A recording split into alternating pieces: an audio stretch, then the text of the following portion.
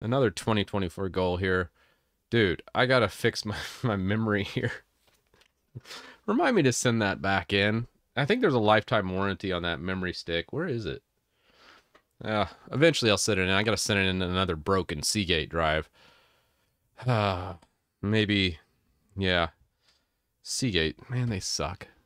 Talk about the worst drives in the world. Does anybody even like Seagate? Seagate drives? Is there any Seagate drive lovers out in the crowd? I don't know. Do you know any YouTubers that shill Seagate drives? Never is or was. uh, I mean, yeah. I mean, Seagate drives aren't the well, they are probably the worst. Nah, there's probably some cheap knockoff drives that are worse than Seagate. They definitely have had the traditionally out of all the drives I've ever owned, Seagate has had the absolute worst problems for me. I'd say professionally and personally, I've had more Seagate drives fail than any other brand provider out there. And maybe that's just uh, obviously it's not scientific. It's not like I ran a thousand drives and out of that thousand, here's the numbers. But I don't know. Just from a topical perspective, just looking at it, going, hey, I don't know. Seagate drives tend to fail way more than the rest, at least from what I usually get.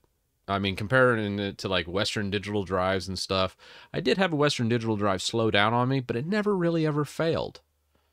It was just started to, you know, started to run slower, and I was like, ah, screw this drive, and I just threw it in trash. So, But I've never had one just completely crap out on me. Like the Seagate ones, they literally just die. I don't know.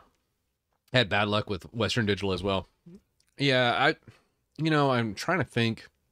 I know this sounds terrible, but a lot of those enterprise drives, they cost almost double the residential stuff. But it feels like the enterprise drives really do, they're worth the money. Like if you have a business and you're putting in like residential Iron Wolf red NAS drives, I don't know, man. I feel like that's just rest setting up for a recipe for failure. You're better off just shilling out for the the enterprise drive solution. I, I don't know, just my two cents. I know it's not cost effective, but hey, data that that is pretty important, and it's worth it's worth those uh, paying the extra money. I think. Seagate drives, you either get all good ones or all bad ones. Yeah, I think I had, uh, I was thinking the ES.2 line back in the early 2010s, I had a batch of ES those ES.2 drives. They they were SAS drives and um man, those things I remember I had like I know I think I had the whole batch die on me from Seagate. I had two go out right in a row and it took down the entire RAID array. They both died on the same day. And that was probably the worst drive failure I've ever had in my career. And then I slowly was like, oh my gosh. And then I think over the next six months, I had every single one of their drives fail one by one. And as long as you're keeping up with most of the drive replacements, it wasn't that big a deal. It was just annoying. And uh, after then, I was like, man, that kind of solidified Seagate's bottom spot for me. But that was pretty bad. and buy one enterprise driver, set up two residential, and set them up for raid one. yeah. Uh, that's funny. Used enterprise drives for home dev is great as well. 100%. Just watch how much, uh, how many hours are on those used drives. That's the main thing. If they have over five years of runtime, typically I wouldn't use those.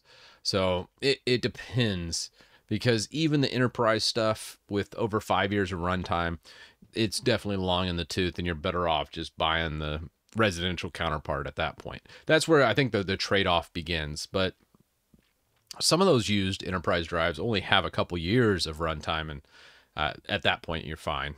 And it also depends on how many read writes and other factors to the drives, but those are very good points.